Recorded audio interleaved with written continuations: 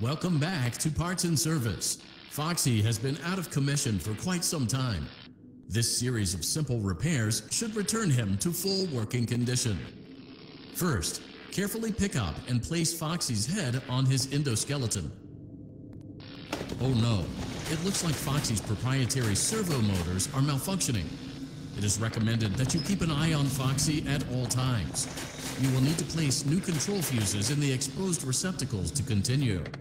Retrieve the fuse from drawer number one that matches Foxy's leg receptacle.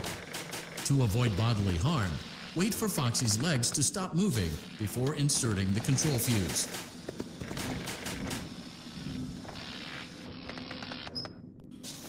Good job. Foxy has regained control of his legs. A gentle reminder, it is recommended that you keep an eye on Foxy at all times. Oh no, it looks like a former employee attempted to repair Foxy's chest motor using an incorrect fuse. Carefully, remove the incorrect fuse from Foxy's chest and insert it into Foxy's upper arm receptacle. Well done. The remaining chest fuses are located in drawers number 2 and number 4. Fix both fuses to continue.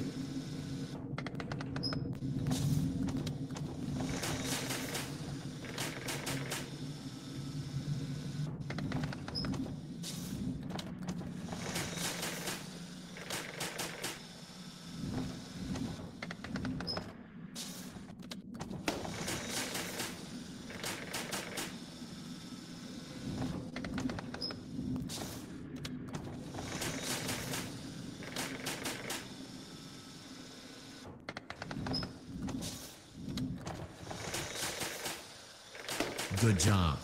Retrieve Foxy's eye from drawer number three. When Foxy's eye patch is fully open, place the eye back into his eye socket.